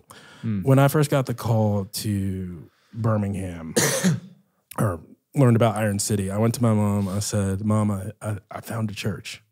She was like, "That's great. That's wonderful." And I said, "Yeah, um, it's in Birmingham." And my mom is super meek, meek, meek, meek, meek, meek. Not, not a huge, not a large personality. And bro, she recoiled in horror. She said, "Oh, Isaac." And she said, "I told the Lord I would never step foot in that city after what they did to those four little girls." Mm-hmm. 16th Street yeah. bombing, Yeah. racially motivated, obviously. And so I bring that up, Sean, to say, and my mom was when that happened. My mom was those girls' age. She was old enough to be one of those little mm-hmm. girls. And so I bring that up to say, one, it's not ancient history, but beyond that, if that hypothetical shooting you just described between white cop and, and black man happens, my mom is not just thinking about these two individuals. She's thinking about 16th Street. She's thinking about her son in this city, in the South. She's thinking, she's thinking about lots of things that this necessarily stirs up and evokes. Mm-hmm. And I think it's at least insensitive, if not something worse, to say, stop thinking about those other things. Okay. And I, I not even insensitive, just impractical. Like that's not in my experience of being a human. That's not how humans work. It's to me, it's like telling telling someone who's been abused. Abuse is so sensitive. I almost fear to just Right. Like yeah, someone, yeah, yeah, yeah. it's like telling someone who like this terrible thing has happened to them, and something that would bring up that terrible thing in their mind happens between these two people over here that it had nothing to do with them Yeah. Yeah. and me being like, don't think about that. Yeah. Well, like you're the problem for thinking about that. Mm-hmm. If when I'm like, actually, this is the problem, and I also don't appreciate necessarily in how people might approach that person, be like, stop seeing it that way, is because it at least implies that you're saying it. I think what that person is trying to say is we don't know it was that, or we mm-hmm. don't know if it's related to these mm-hmm. other things. But what it can easily sound like is it's not related to these other mm-hmm. things, which presumes that you know it's not related. Like you've got to prove that as well. Yeah. Like, how do you? So, I say all that to say, Sean, like, um, that's what I would say is like to the person who's like, you're making it a race thing. Yeah. I was like, I did not make it a race thing. Yeah. It, yeah. You live in a racially charged world. You live, Yeah. people in the past made it a race thing, and we are their children, like it or not. And so, I mean, just think of like two families who had a beef: The Hatfields and the McCoys. the Hatfields and the McCoys, and you know, Tiny Tim Hatfield is playing with you know, Tiny Terry Hatfield, uh, and they get in a fight, and The bro and it's just between these two boys. That's all that's happening. But the brother says the Hatfields always do this. Uh huh. Is he crazy for saying that or Yeah. thinking that? Is he right? Kind of. Yeah. And so that's what we're ha- that's what we see on a much larger scale. And I think if we could have more conversation like this, like tell me why you see it that way. Okay, that is a good point. Yeah. I'm a little fearful though that you're just writing the narrative off simply in 280 characters. As it is necessarily only racially only racially motivated, only fruit of a racist society. And it's like, man, violence and all these things, like, man, we live in a society where UFC is promoted, like where we, we Right. watch people Yeah. beat each other for sport. Human cockfighting. Like they, so yeah. you're exactly right. It's just like it's not monocausal. There are so many things converging Yeah. into what's happening, but I, I the racial one gets so specifically charged, but that's because of the such specific way that has controlled so much of American interactions and societies historically. So- Okay, well let me let me shift let me shift the angle on this a little bit. You pastor me right now, okay? okay. Okay.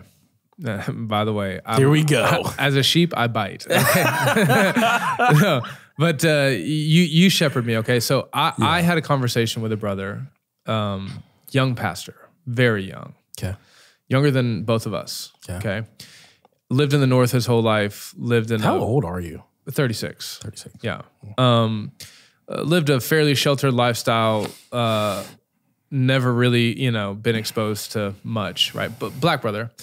And uh, I invited him to come down to Alabama, and legitimately, he says, um, "I wouldn't even drive through that state." Right. My first reaction is, "Are you are you serious? Are you kidding me? Because he's not your mom, right? Yeah. Here, here's why I think this is maybe uh, a- another helpful. Let's just turn it ten more degrees or twenty more degrees this Yeah. way, right? Like your mom's sentiment is much more reasonable, right? Yeah.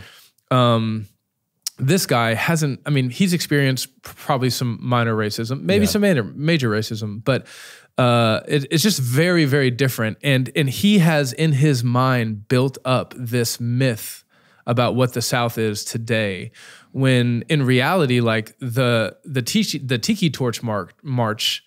Right for white supremacy, that happened. I, I won't tell you the city, but it happened Oh. I know, brother. Okay. I was I was married in the city. Okay, so it happened. Yeah. Uh, no, sorry, I mean I won't tell you the guy, but Oh, yeah. it happened like ten miles away from you. Whereas like that that that won't happen in Birmingham. That's not going to happen in Decatur or Huntsville, Alabama.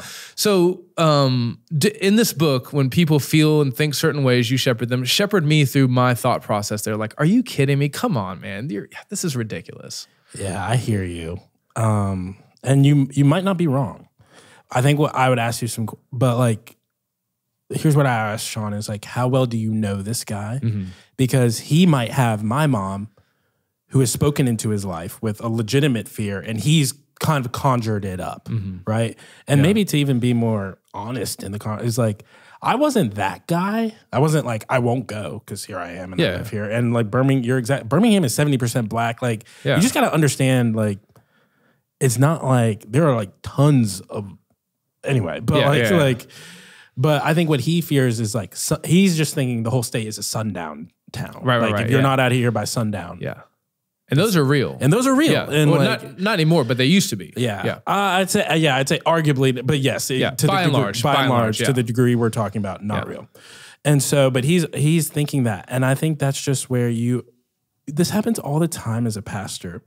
You could say, "Dude, you're ridiculous. You're an idiot. Get down." Sure, I wouldn't want to say that, and you wouldn't Yeah, say right, that. Yeah, But you you just have to tease people about like, why do you think that? Sorry. More information. Like Yeah. what I would encourage you to do is give him more information. Be like, bro, tell me why you think that. Sure. And man, like I would even say, Sean, you can say like, man, it grieves me that that that has to even enter your mind. Mm. It gr- like I'm Okay. I, I'm grieved by that. I really, man, like I really think you'll be just fine for these very clear reasons. And I think, man, I would probably leave. I would probably encourage you to leave it there. In other Okay. words, I would say, don't even address like, and bro, like, just to encourage you. Like, I think you're writing off a whole part of the country that unfairly, like you could go that rebuke route, but is it worth it in that moment? Okay, well, let's forget about rebuke. Is there a sense in which, in that context, it might be useful for for me to say, and this is totally off the top. Don't Yeah. judge me too Yeah, yeah, harshly, yeah, yeah. right? But like, hey, th- there's there there's um ignorance is too strong of a word, and it would be too biting in that context, right? Yeah. But to just try to like inform him, like, hey, you have a vision of something that that is is not accurate, and to try to give him a more accurate picture uh, in that moment. Because I think that's Yeah. from the conservative side or the, the the threes, right? Right. They feel like anytime this conversation comes up, and I try to bring up like facts, right?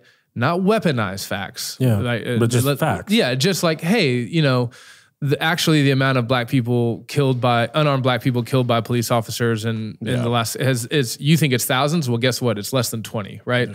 Um to any time you do that, it's completely uh, like not only invalidated but seen as hostile Yeah, yeah, right? So, is there a place to to bring up facts uh, in a helpful, non non combative way in these kinds of conversations? Yes, but where that play, I fear that the threes think that place is a lot earlier than it really is. Okay, kind of like Job's friends, right? Yeah, just that's right. And I, and, unwise and that, counselors. the straight answer to your question is like, with, with this guy, I'd say yes, but not in that conversation. okay, And you're you, I, I understood you to be asking, isn't is there a place for me in that first Uh-huh, right, conversation yeah. to be like, and like maybe if y'all are best friends and you'd be like, bro, you're my man, a hundred grand, you know that, bro, you sound dumb, like or like like you like yeah, you like there you're there is an ignorance here and i want to address it for you because a rebuke goes deep into a heart of a man of understanding right? Mm-hmm. Like you mm-hmm. should receive this.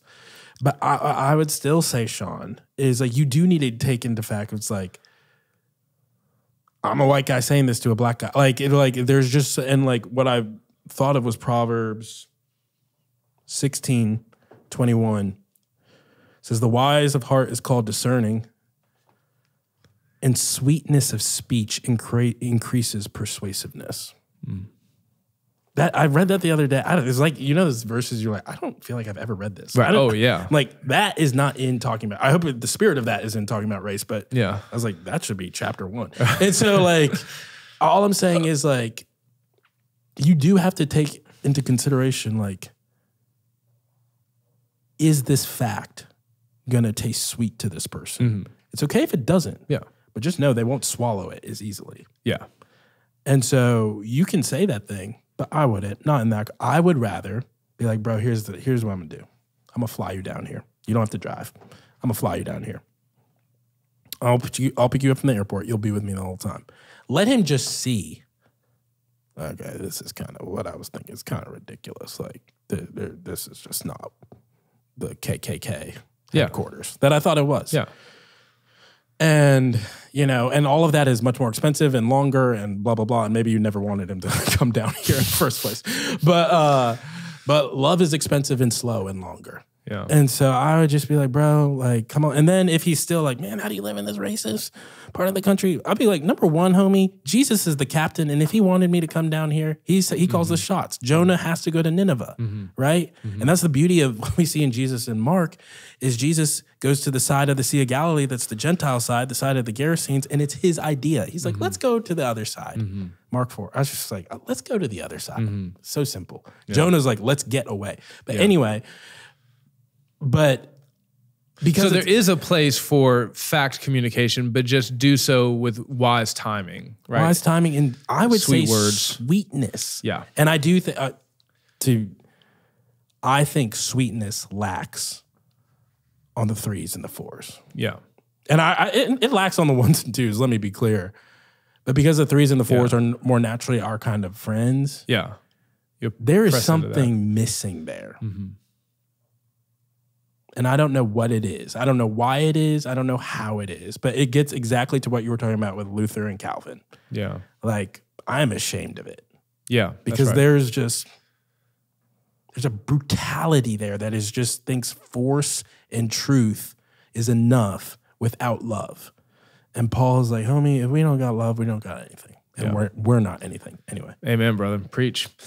Uh, what do we need to agree on Mm. regarding matters of race in order to have unity with one another in the local church. Now you can take that any way you want as Man, that's a gr- elders. That's a great question. We have to agree it's a sin. have. Ra- racism is a sin. Yeah. Beyond that, you know, and I'm assuming uh, of what so funny. You and I, we share so many assumptions, and even in this, like I'm assuming unity is already accomplished by Right. Christ at the cross. Yes, it already right, exists. yeah. But like, I know what you mean. Like to have, you know, what does someone have to agree on to become a member of Iron City Church? Or even, I mean, I think one of the things that we've seen in the last 10 years is an exodus Yeah. of people of color from predominantly white churches. And we're not going to go into all that today. There is Right. no time. There is not. but it's largely because people have felt like um, we do not have sufficient agreement on these things Yeah. in order to have unity in the, lo- in the local church. Yeah. Now, I, I I appreciated your section in your book where you where you said uh, essentially like, "Hey, you're free in Christ." To like go find another church, like praise God, you live in the United States. If you can find another gospel preaching, Bible believing church in your city where you have where your conscience isn't bound by these things, great, do that. But let you know, let's pretend that we're in After Corinth. asking these questions. Yeah. Yeah, L- Let's pretend that we're in we're in Corinth, you know, or in Philippi. There's only one church. Paul ha- says like, "Hey guys, I need you to be of one mind, okay? You know what I'm saying? Like you got to figure this out. Uh, and the spirit will help you, but you got to you got to do this, right? Yeah. So, um what what is that base uh and this you don't want to just ask what's the bare minimum we Yeah, want to yeah, yeah. but like what is the the the base level agreement that we need to have in order to do life together and and perhaps disagree on some of the finer points and my first thought is yes exactly what you said we have to agree that that racism is a sin right Yeah. a sin an excommunicable Yeah. sin Yeah, yeah, yeah, yeah.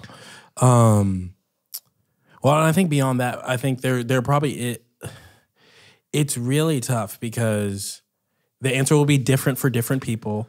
But I'm actually thinking through this afresh in my own life, not in my church, but in a different scenario um, of partnerships with folks. So it's a bit outside the church. Like I think in Yeah. in a church, you have to you certainly have to agree that's a sin. I think you, have to be on I think there's some practical things you have to kind of implicitly agree on that I'm not going to put in the statement of faith. Right. But in our membership class, here's a very practical we there's a little section of like you need to know this before joining the church. So Yeah. something we say a lot at Iron City is clarity is kindness. yeah It's kindness for everybody. yeah And so we say, hey, we talk about um, matters of racial injustice here at this church. You should know that before joining. Now, we're not saying you have to agree with us on everything to be a member. Um, and you can even you can disagree on some things, but if if you're if what's going to be a problem for you is not simply how I said something, but that I said anything, this is gonna be a this is gonna be a hard church for you, right yeah and you should think through that. Now, I want to be really careful with that, Sean, because I don't want to create a cult of personality of Isaac Adams. I want some people who disagree. I want Sean's in my church. Sure, yeah. I, I need Sean's in my church. I need that. i in say the- that in our church as well Okay, Yeah. so i need the twos I need you. I need the twos, and man, it's like even even the one like I think the most. It's hard because ones and fours. It's like to be in those camps by definition, you have to. and they're prone to fight. Right, right, yeah. right. And I don't really need that in the church. I really I don't. feel I feel that. So, but I guess what I'm uh, uh. saying is that's not a really a doctrinal position. More of it's a how we live position. yeah. Do you agree? so- it's kind of like a church covenant thing, almost, right? Like, right? like, do you agree that it's okay to talk about? well, yeah. Will we bear with one another in the midst of and like, disagreements? will you love me through that? Will If you respect my conscience? Right, exactly. Like, can those are those are the kind of like agreements we need to have on Yeah. how we're going to do life together. Yeah.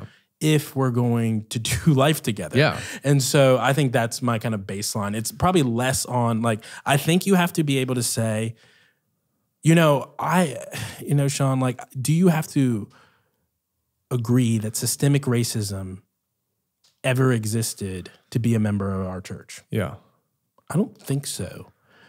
But would someone who has that idea hear what I just said about racial injustice and be like, yeah, I'm, I'm still good? Yeah. Maybe. Okay. But I think there's a, a level of reality. Like you even said it earlier of like, we understand this happened historically. Mm-hmm.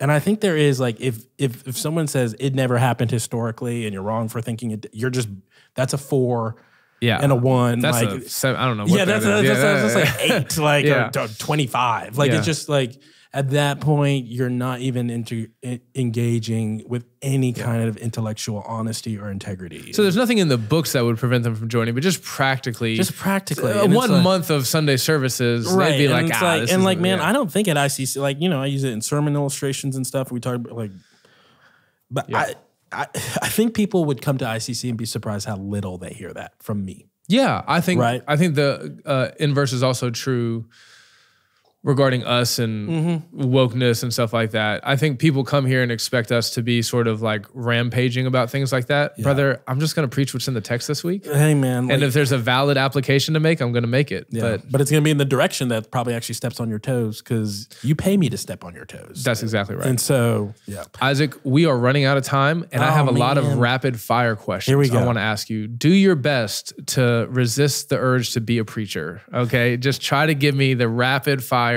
yeah, uh, rapid fire answers. Uh, do you subscribe to CRT? I can't I can't answer that if I don't know what you mean by it. Okay, that is itself a good answer because very often people use those terms on the right and the left, and they Yeah. have no idea what they're talking uh, We'd about. have to have a more nuanced conversation. Can't answer it. we need more more room for More. nuance.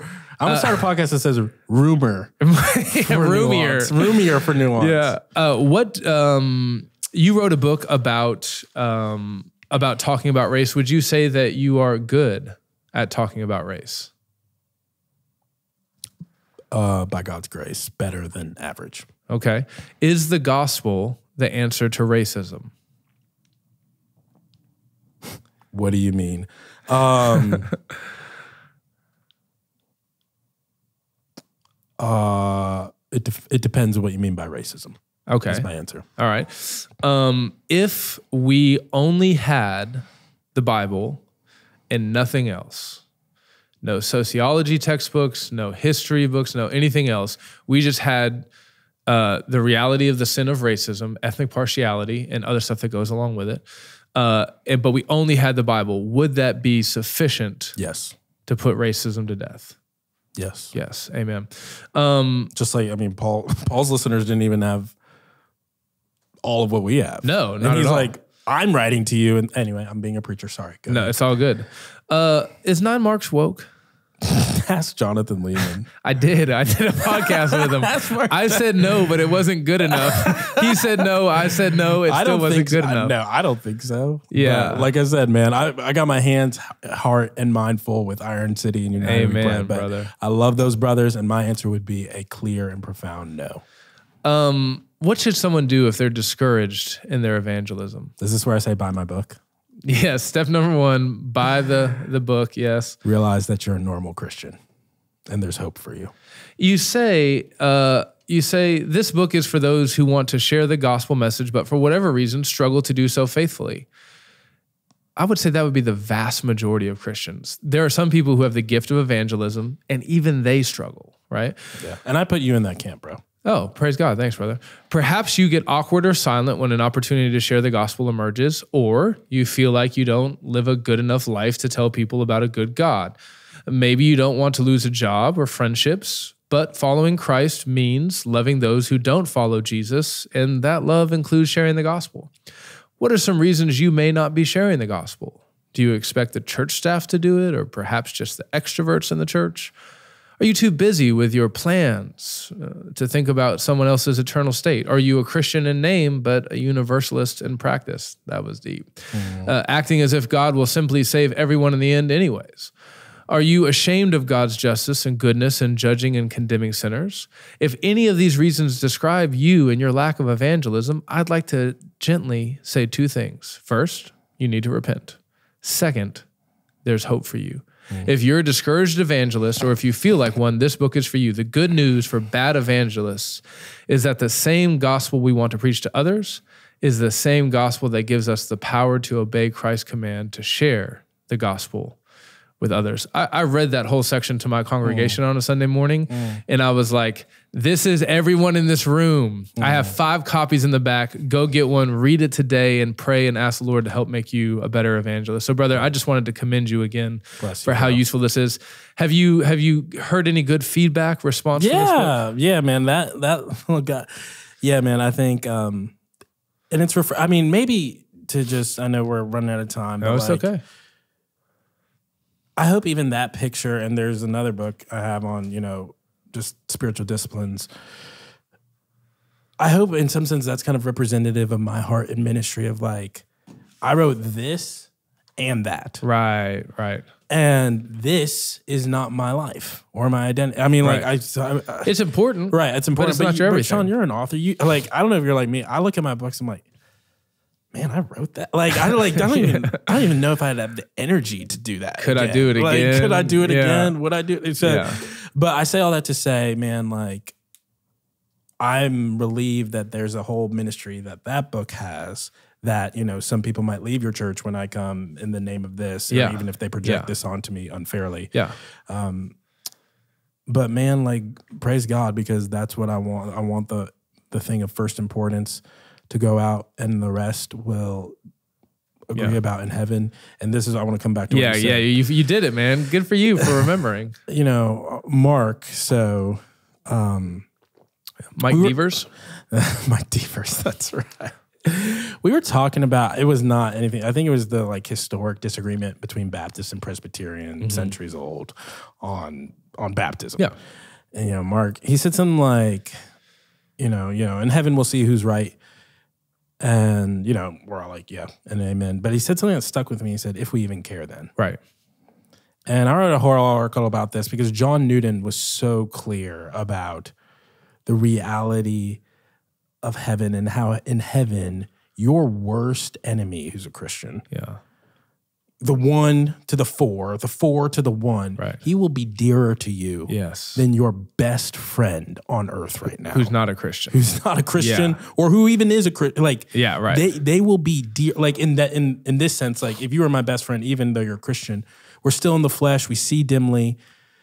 Allah, but I'm not trying to get into the logic of all of it. Yeah, all I'm right, just right, saying is like you will love that person right.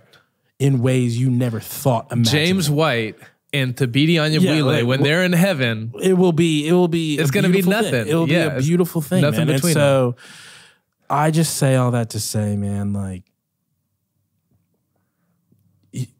that controls how I try to have the conversation of like yeah, that's huge, brother. this can't be every it's not it's not this isn't all of me.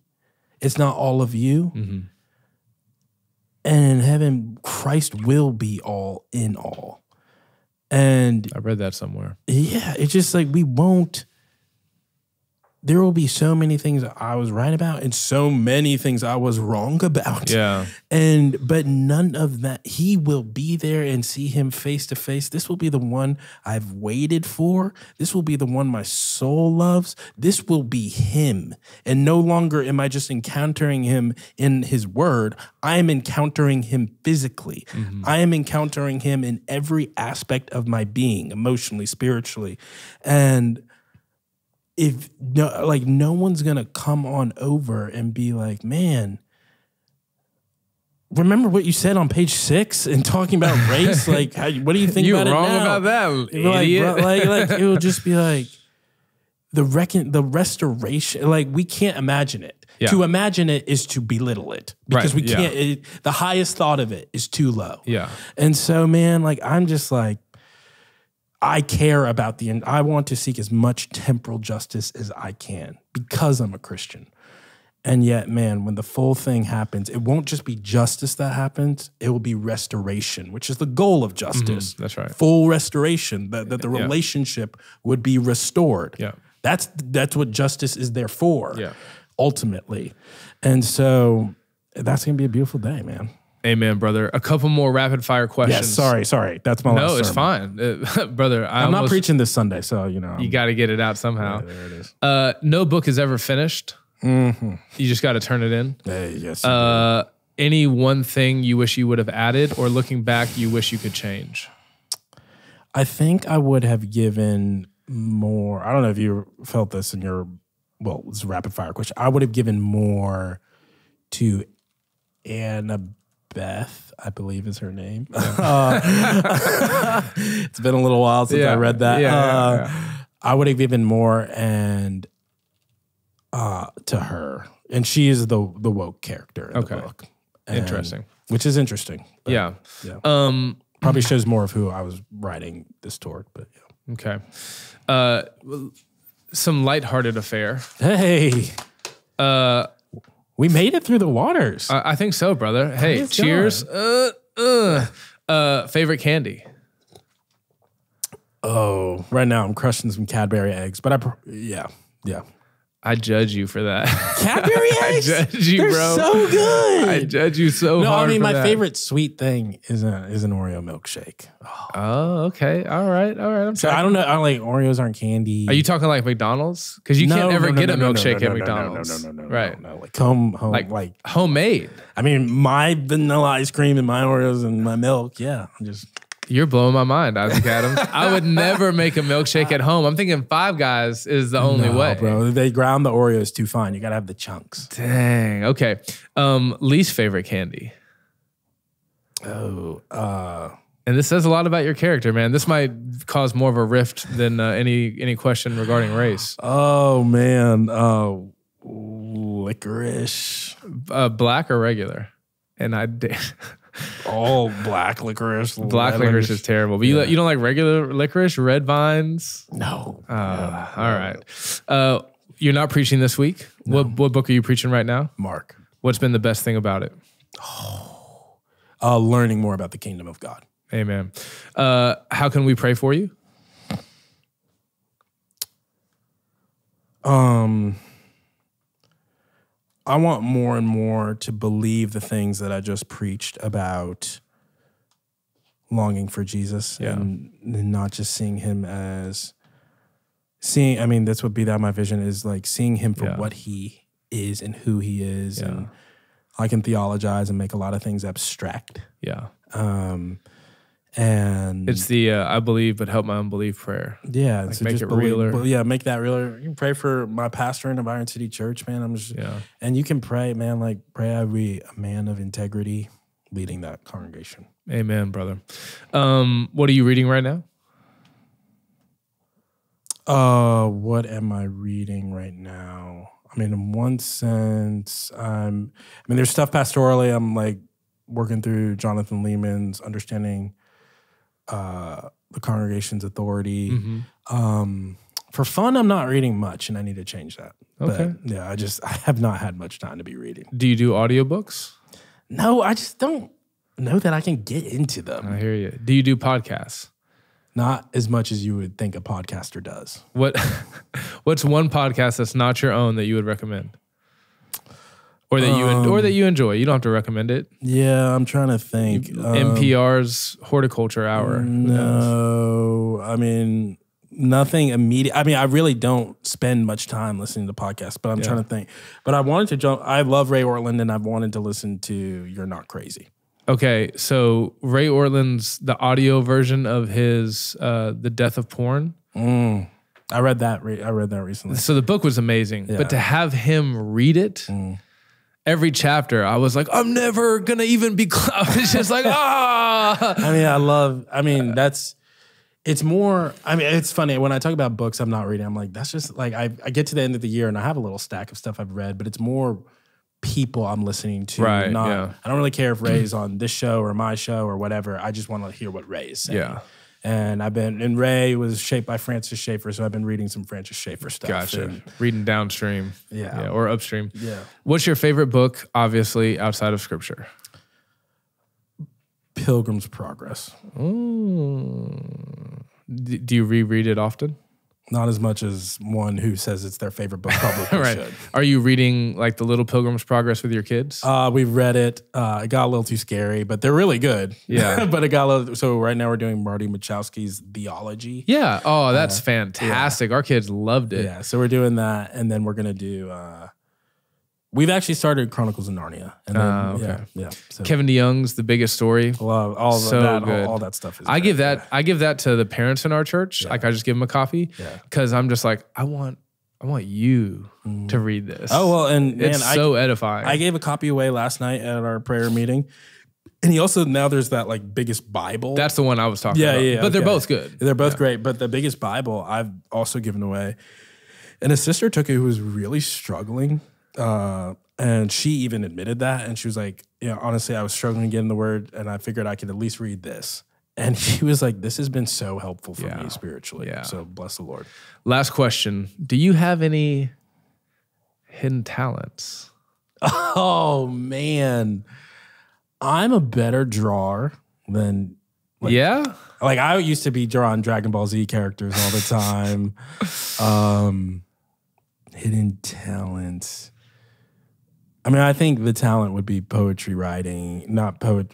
Yeah, which is not so hidden. Yeah, that's not Yeah. so hidden. Um, other hidden talents. No, I mean, probably, probably, probably drawing. Yeah, All right, be on the lookout for uh, a new my picture of book, coming out. Yes. yeah.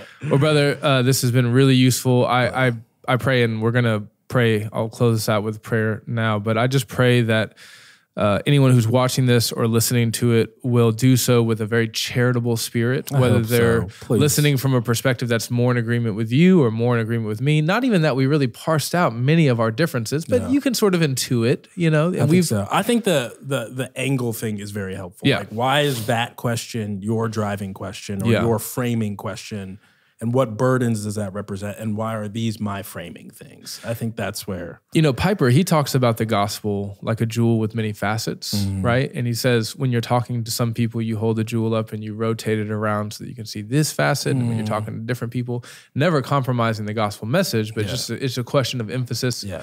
But it's also a question of perspective and vantage point. Yeah. And um, that might even be a helpful illustration Mm-hmm. here. Like t- holding up the race question is just like it's rotated one way for you and another way for others. you know? And I think we act as if our vantage point is the only Mm-hmm. and is the best always. So if you don't have this vantage point, dude up in New York who thinks, you know, Alabama's just a racist land and territory Yeah. that you're too pure to enter into, Yeah. you're therefore wrong. And it's Yeah. like, well, he's got a vantage point too. One is probably more right than the other. But how can we get to agreement where you can actually see him? That's the goal, right? Yeah, Is right. like to spend time together. Yeah. So let's not break the relationship over this that kind of dumb and ignorant comment. But how many times do we see that, Sean? Is like the whole horror. I sorry, sermon three. Here we go. sermon eighty five. The whole horror of broken conversation about race is not really. I, I am sad for any kind of racial injustice that would be perpetuated and any wounds people might feel. It's it's that people and communities fall apart. And whenever people and community fall apart, there's injustice and sadness and brokenness to deal with. But that's why in the gospel, what we see is not man just reconciled to God, but man reconciled to man. Mhm, that's right. Well, brother, let me pray. Thank you so much for being here. Lord Jesus, uh, we come before you humbled by the grace to be able to speak the truth to one another in love, not just uh, focusing on facts, but also uh, with a posture of humility, recognizing that you are the only one who has a perfect perspective of that which is true. Uh, Lord, we pray that you, by your Spirit, would lead us into all truth, uh, more and more truth, even though we're never going to get it all uh, while we're here in the body, in, the, in this body of death. Um, we pray that you will uh, clarify our vision through the study of your word and through more fruitful conversations just like this. Though we are imperfect, we do pray that other brothers and sisters in Christ would follow our example in, in, in, in the way that we have uh, sought to have this uh, difficult conversation. Lord, we pray that you'll bless Isaac Adams in his ministry as a local church pastor. Help him to be all consumed in the best possible way with your glory being manifest uh, in that local church. Help him to raise up strong, faithful, uh, biblically robust, uh, devout men to lead that church. Uh, raise up deacons, raise up members who love you and love the gospel more than they love their own lives. And Lord, we pray that you would do that in churches all across the globe. We, we know that you're doing that even now. And so uh, we rejoice in the grace that we already have in Christ Jesus, and we look forward to heaven, to the day when Oh, none of this Lord, will matter because we are just utterly lost in the glory that is shining before us. And we pray this in the mighty, gracious, humble, powerful name of Jesus Christ. Amen. Amen. Thank you, bro.